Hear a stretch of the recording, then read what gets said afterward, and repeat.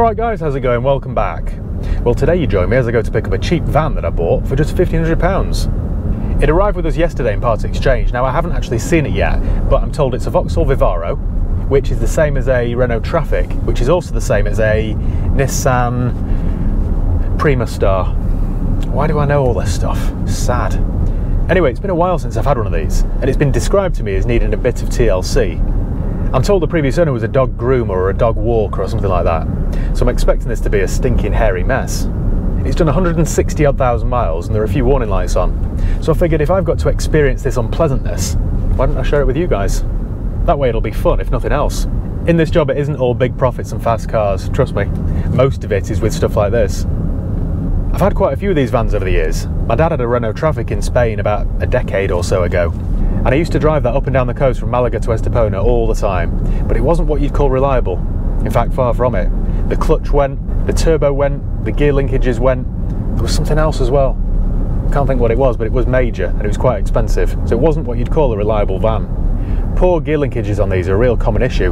When they start to go, changing gear is a bit like stirring soup. It's only 6 from 10. Anyway, let's go and have a look, shall we? See how bad it is. Well, all I can say is wow. Wow, wow, wow. I've never seen purple wheel trims before. Or a purple grill. Look at that. What a beaut. Although, on the bright side, look at that roof rack. That's to be worth 500 quid alone. Oh, it's a crew cab. So it's got what looks like six seats. But only one door. That's strange, isn't it? I thought it would have had two sliders. It's got a hashtag we do it for the dogs sticker. I can smell this van already. Right, let's do a vehicle history check then. As always, I'm going to go to carvertical.com, type in the vehicle reg, which is Mike Kilo 63 Yankee Kilo Echo. It's really important that you do one of these checks before you buy a vehicle. This checks for things like mileage rollbacks, accident damage, finance outstanding, all that sort of stuff. It's really important that you do one of these before you hand over any of your hard-earned cash. If you click the link below, then you'll get 10% off each and every vehicle check that you do. All you need to do is click that link and use the promo code HIGHPEAK. It doesn't cost much, it only takes a couple of minutes, and Car Vertical checks database in dozens of countries, as it's doing right now. Right, and the report's done. It's actually calling it an Opel Vivaro here, which I guess technically it is. Under that Vauxhall badge on the grille is the Harry Potter style lightning logo of Opel. I don't know what else you call it. I don't think it's ever been likened to Harry Potter before, but it's the first time for everything. Right, so no mileage fraud was disclosed. It's never been stolen, never been involved in any accidents, and there's no outstanding finance on it. Ah, this is interesting. So it is a January, February 2014 on a 63 reg. Let's see if there's any MOT on it. Oh, there's quite a lot of advices there. So it was MOT'd in March this year and it passed, but it had four advisory items.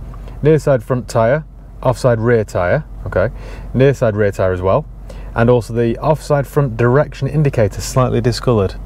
That's a bit of a fussy MOT tester, isn't it? Ah, this gets more interesting. So it was used as a police vehicle. Makes sense actually to ferry officers around here. The last MOT was done at 157,000 miles. I know it's done 160, so that's right. But apart from that, there's nothing else to report. So that's all good. So let's walk around it. Just hope this rain holds off. Okay, well, I think the rain has stopped, at least for a second anyway. Look at those wheel trims. Very snazzy. They're coming off. A little bit of rust there, a bit of scabbiness on the arches. Oh, that's nice. I like to see that. Just giving me goosebumps actually. Well, it's quite tidy, I suppose, for a van. They're always battered vans, aren't they? There's a little mark there, little dent there, some Tipp-Ex there by the looks of it. Yeah, not too bad though, is it? On the back, we've got a Goodyear that looks quite old, and there's about three mil of tread remaining there, so not great. Got a Delinte here with about five mil of tread, so that's good. Holes in the bumper there where they've had some sort of lights or sirens or something. Look at this, look. Isn't that the most hideous thing you've ever seen? That will actually, that's, that's a wrap. Okay, a little bit of work there, but that'll, that'll come off. That's fine. Take off the number plate surrounds as well, because they are hideous. Another matching hole there in the bumper. And we've got a Michelin here. We've got four odd tyres here, ladies and gents, I think. Little crease there in the arch there.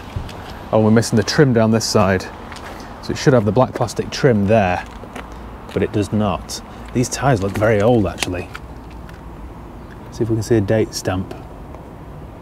Uh, actually can't because it looks that old. Like the front one. 15th week of 19, okay. It's not that old then, is it? Yeah, look at that roof rack. Proper bit of kit, isn't it? I'm quite impressed with that. Let's climb up on this wall here without breaking my neck. I just know that that's worth a few hundred pounds. These often get broken because of the sheer size of them, but that's all right, as is that one. Oh, what have we got here?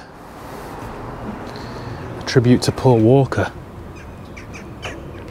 Well, that tells us one of two things. The previous owner of this van was either 11 years old or they had a terrible taste in films. Because the Fast and the Furious, as we know, are rubbish. We've only got one key, but it works. Let's have a look in the back. Well, it's ply lined. Oh, there's the trim. That's the result, isn't it? Just wants sticking back. That saved me some money. We've got a vent there. I don't think this was used as a police van to carry prisoners around in. Don't think this area has seen any perps. Some hooks there, a few coats. Doesn't smell doggy.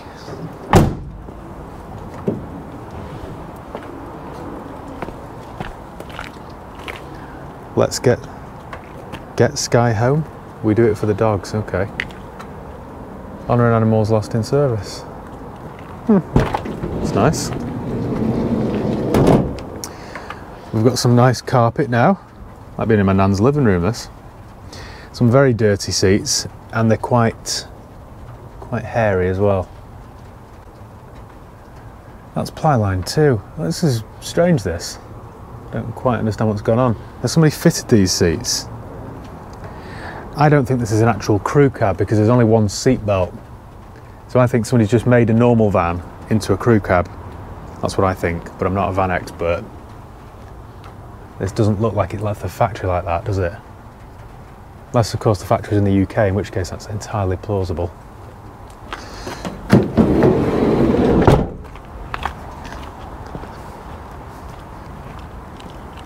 Here comes the rain then, so that's perfect timing. Let's get in this thing. Oh, I wish I hadn't actually, it stinks. So, more bling inside. Look at this. They've wrapped this. Got a little crown here, or tiara, whatever you call it. Look at all these bits on the vents. I only wish that I had enough spare time to do things like this. There we go. Instantly added value to this, haven't we? Well, what have we got then? So we've got air conditioning, electric windows, a hook there, a few poppet-ons, hazard light buttons broken, and we've got holes in the dash here. So, it's been smoked in. And we've got a disgusting looking wheel cover there. I hate these steering wheel covers. They just... I know it's probably hiding a minging steering wheel underneath, which, mm, yes, it is. But I just think this will be harbouring so many germs and diseases. Let's get this off actually. This can go in the bin immediately. I would put steering wheel covers in room 101. There we go. Now, have we got any service history? Uh, tow and eye thing there. Not in its usual place, so that's never a good sign, is it? That means it's been out. Squeaky seat. But it's all very familiar, this. Oh, let's check the gear linkage. 162065. Capital. And yes, it is lit up like a discotheque. Injection fault. What else have we got? The spanner light, fuel light, stop, and seat belts. Okay, well we can fix one of those, can't we, by putting a belt on? That's one of the lights extinguished. I can do the other one by putting a drop of diesel in it. So then we've got the stop light on and the spanner light. Now the spanner light will just be a service. But the injection fault, that actually on Renaults and things could be anything. Doesn't necessarily mean there's a fault with the injectors.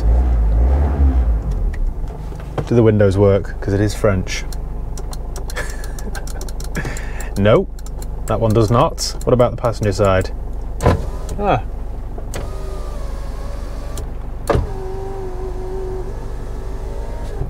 Well, to paraphrase the late Meatloaf, one out of two ain't bad. Right, one's broken there. Do the mirrors work? No, that doesn't work either. Right, so it's either this switch pack that's dead or there's some sort of wiring issue to this door. Although that doesn't make sense, does it? Forget that. Forget that, doesn't make sense at all. That one works. That's funny, isn't it? Yeah, I would say then this master pack, this master switch pack is broken.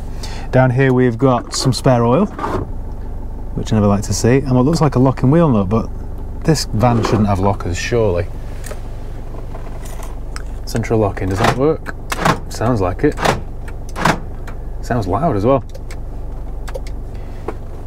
This is another common issue actually. Now the fan, I think this happened on my dad's, it only worked on four which was handy in Spain in the summer anyway with the air conditioning on. Two, three. Oh, I was just blowing a load of dog hairs in my face. Four. Right.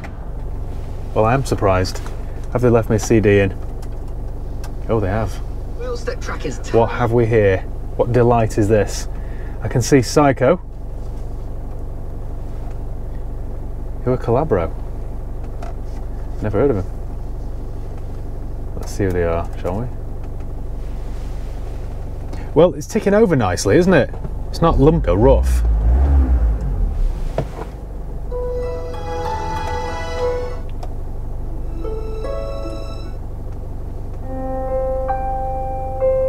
Well, I'm none the wiser. I apologise for that. Calabro, if you're watching, didn't mean any offence. Should we take this for a drive then and see what it's like? See how sloppy the gear linkage is? And we're away. The steering wheel is disgusting, sort of falling to pieces. Our wipers work, although they could do with some new blades. A little bit loose there on the front. And oh, we've got a crack in the windscreen. Terrific. We're about to change gear then. How's my linkage? Oh, it's actually alright. Drives in a straight line, I suppose. Have I got some brakes? Yeah, brakes work. I really like driving a van. Why is that? Am I on my own? Let me know in the comments below. For some reason get a real kick out of driving a white van. Well, the gear linkage is fine, so I'm guessing at 163,000 miles that must have been replaced. A little bit bouncy, but most vans are, aren't they? I think then what I'm going to do is run this to my mechanics, get them to do an oil change on it, get them to clear these lights and see what they are, see if they stay out. What else? Replace the wiper blades, I think it's going to need four tyres because they're all odd and they're all a bit borderline. So I think I'll probably do that. And then I think there's some profit in this. There won't be any huge earns, but there's always somebody looking for a van. A bit like cheap cars, there's just always somebody in the market for this kind of thing. It's a little bit vague and wayward.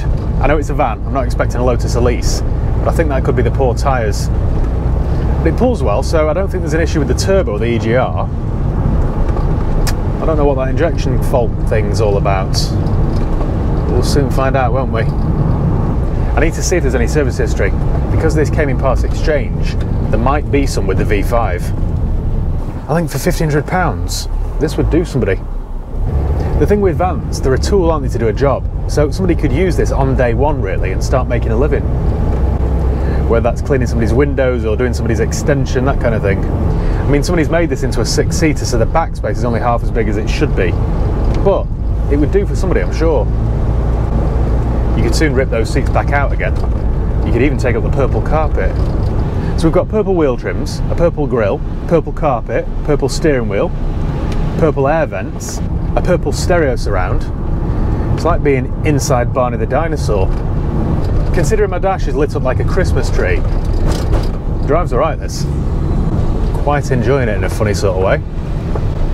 So I think that's what I'll do. Run it straight to my mechanics now, and I'll catch up with you in a day or two. Cheers, guys. This hasn't been as unpleasant as I thought. It smells a bit of dogs, but it's not overwhelming. I've been in far worse. In fact, I've been in far worse this week. If I were to spend three or four hundred pounds on this, I think this is a three thousand pound van or more all day long. There's no VAT on it either, which is another good selling point when selling a commercial vehicle. Right, see you in a little bit. Well, we've got some good news and some bad news. Which one do you want first? We'll go with the good news. I've sold this van for profit, which is very good news. You might be wondering what the bad news is. Well, the bad news is it wasn't as much profit as I'd hoped. I ran it down to my mechanics and asked them to scan it and see why the dash is lit up like a Christmas tree. And I also asked them to check it over to see what work it might need before I could sell it with confidence. They did that, they checked it all over for me, and the answer was quite a lot of work. In fact, almost a full A4 page of work required. It's a bit of a shame really because it does drive really well for a high mileage van. And to top it off, the previous owner dropped in some more service history. The service history that she dropped off was from Greater Manchester Police and it's been serviced right the way up to 140,000 miles. After all, this was a liveried police van, so although it might have been driven hard, it has been serviced well. I paid £1,500 for it and I've sold it to a mate of mine for £1,700, so it leaves me a profit of £200. It's not brilliant, I'm certainly not going to be able to retire off it, but it is a step in the right direction. It could have been a lot worse. What I'm going to do now is park up somewhere and talk you through all the faults that this van's got. You might want to clear your diary. In no particular order then, I left it down at my mechanics for an oil service, an MOT, and some warning lights on the dash, and a faulty master switch here for the windows. I thought this van had a little bit of life left in it, so that should have been fairly straightforward stuff.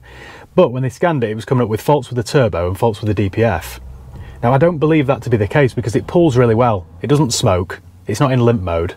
So I don't think that that's right, but that's what the code suggested. But on something like this, I didn't want to get involved in putting a new turbo on it or a new DPF. It just wouldn't have made sense financially. In addition to that, my mechanic told me that the wipers need replacing, the centre stoplight doesn't work, the screen's cracked, which I knew already, the two rear seatbelts are missing. Now, as I thought, this came out the factory as a three-seater not a six. Somebody's fitted that other set of seats and only one of them has a seatbelt on it, so it wouldn't have passed another MOT. So you'd have to really rip those seats out and then get it MOT'd and then perhaps put them back if that's important to you. It also needs four tyres. Now this would have had to have van tyres on it, which are a bit more expensive. There's also an oil leak and both front strut top mounts are stiff and a little noisy when turning. So all of that stuff, it's difficult to put a price on. You'd be talking £250 for tyres, £250 for a screen, £50 for a stop lamp, £25 for wipers, oil leak, struts.